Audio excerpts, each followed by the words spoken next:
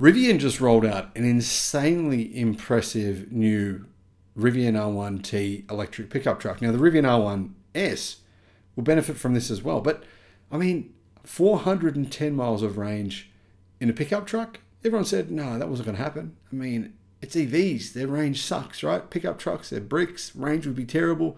Well, not only has Rivian rolled out this range improvement across the entire range, in fact, all of their models have improved in range They've also unveiled a new motor which is helping them achieve this range.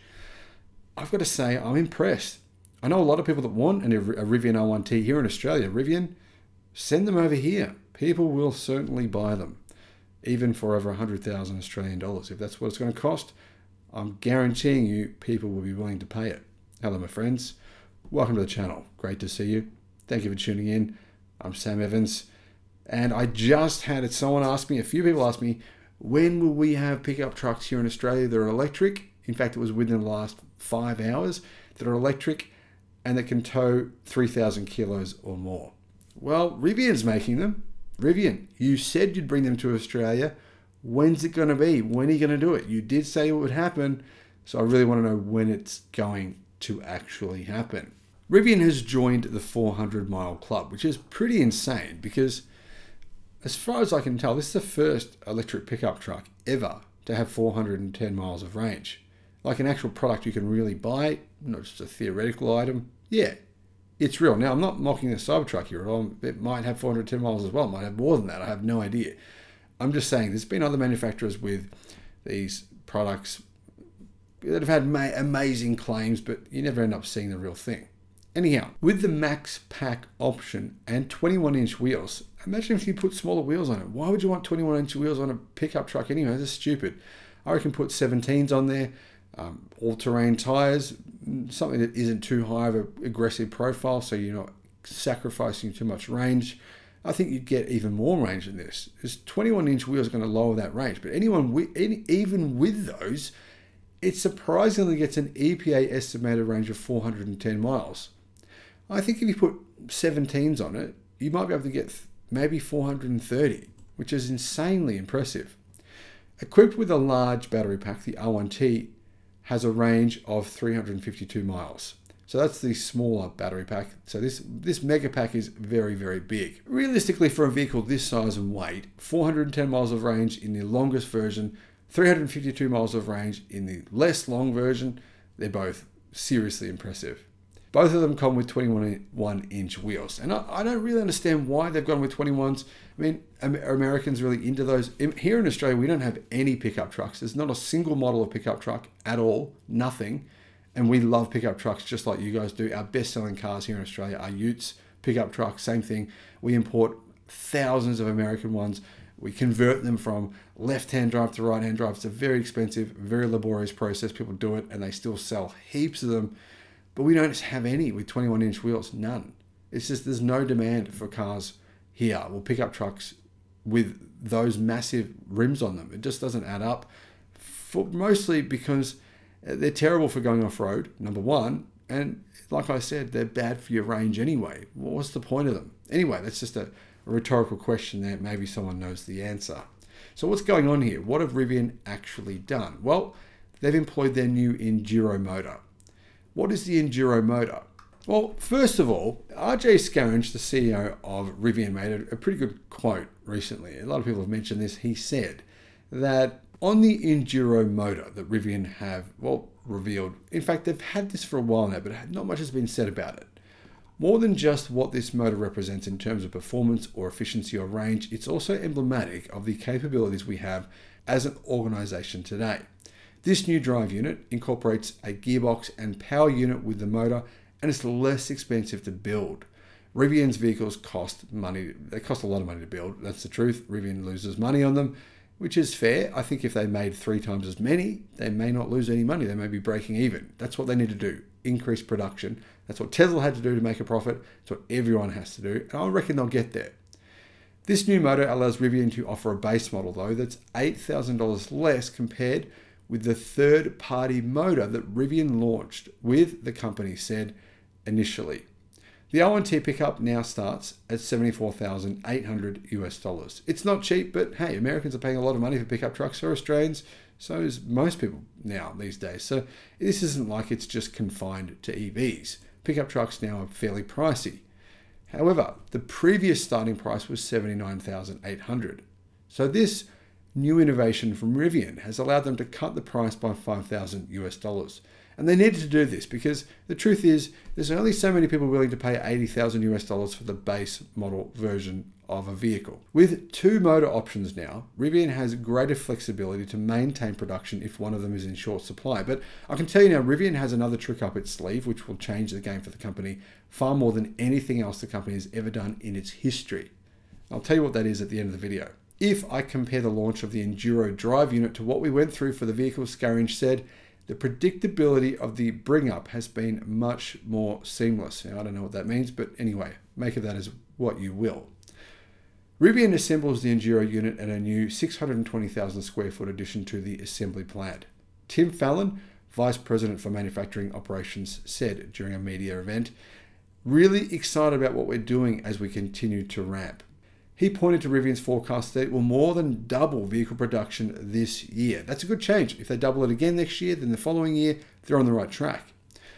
All major components, including the motor, gearbox, and inverter, are manufactured in house for seamless integration and optimized efficiency, the company said.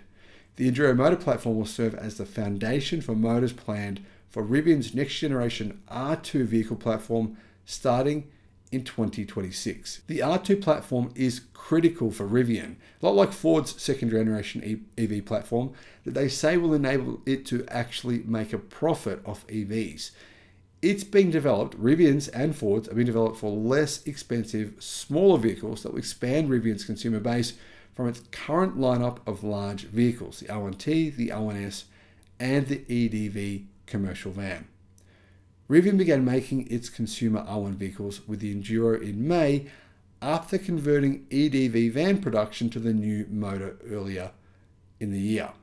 The R1 vehicles can still be configured with the previous drive unit that was being made using outside supplier components. Now, by adding the Enduro as the standard motor, Rivian can expand its production numbers since it has developed a better supply chain for the in-house drive unit. And sometimes that's one of the benefits of vertical integration. You can control your own destiny to a much better degree. In addition, the Enduro uses different power semiconductors than the original quad motor drive, meaning it has two supply streams to produce EV motors. Rivian said in August that it expected to make 52,000 vehicles this year, compared with 25,000 in 2022. Production was limited last year because of a lack of semiconductors, say Rivian, for the outsourced quad motor drive unit. Now, I don't think that's actually true. I think there was numerous reasons for why production was limited, but it doesn't matter. They're on track to hit their numbers this year, which is very unusual for one of these companies. I mean, Lucid is just miles away. Xpeng, NIO, they're nowhere near their you know estimates for production this year. In its latest earnings filing, the company reported a net loss of 1.2 billion in the second quarter compared with 1.7 billion in the same quarter last year. Revenue tripled to 1.1 billion on improving production and deliveries. Rivian did not give cost savings for the Enduro alone though. However, they said the combination of the Enduro drive unit with a lower cost battery pack in the EDV van, believed to be lithium iron phosphate, has reduced material costs by 35%. Rivian plans to use the less expensive batteries with lithium iron phosphate chemistry in its consumer vehicles in the future to reduce costs. This is how Rivian can make a profit selling vehicles. And I've said this a few times, it needs to be said again. Rivian does have a pathway to profitability. It's LFP. They know it. They've said this on a number of occasions. Why is it the North American battery industry, I mean, Ford, General Motors, Ford to a lesser extent than General Motors, but General Motors is 100% in on uh, NMC, NCA chemistry, lithium ternary batteries. So are the majority of automakers in North America. The only ones that are not are, well, Ford with their trying to get their CATL licensing deal so they can build a lithium iron phosphate battery factory. And it's said to be that Tesla is wanting to do the same thing. But everyone else is just all in on non LFP batteries. However, Ford and Rivian say the only way that they can really get to profitability, and even Tesla, it was the same sort of issue for them, was by using LFP. Less recalls, less problems, much less price as well. Performance. The original quad motor configuration with a motor for each wheel does have performance advantages over the dual motor enduro setup, which has a motor at each axle driving two wheels. All R1 vehicles have all-wheel drive. The quad motor setup has 835 horsepower. It's very fast, compared with 533 horsepower for the dual motor enduro configuration. Now to give you an idea on the performance, it easily beats a Ford Ranger Raptor, dominates it, but it annihilates the much quicker Ford F-150 Raptor as well. Rivian does offer a performance version of the Enduro system with 665 horsepower as a $5,000 option. So, of course, the Enduro version with two motors has less power, but it's got way more power than you realistically need. If you want to get more power in that dual motor version, pay an extra five grand, you get an extra 100 horsepower. In a demonstration to show the capabilities of the Enduro drivetrain, Rivian allowed visitors to drive the R1T with the quad motor setup and the dual motor configuration. Both variants were really fast. In fact, ridiculously fast. The quad motor did it in 3 seconds, 0 to 60 miles an hour, or 0 to about 98 kilometers an hour, and the dual motor performance in 3.5. So the non-performance probably doing around four seconds. It's just you don't even need anywhere near that performance. That means the non-performance version of Rivian's cheapest pickup truck easily dominates Ford's F-150 Raptor. Well, I think RJ Scaringe was right. Buying an internal combustion engine vehicle right now is a lot like building a horse barn in 1910. The future of the pickup truck is here, and it's most certainly not powered by any kind of engine. What are your thoughts? Let me know in the comments. Thank you for watching. Bye bye.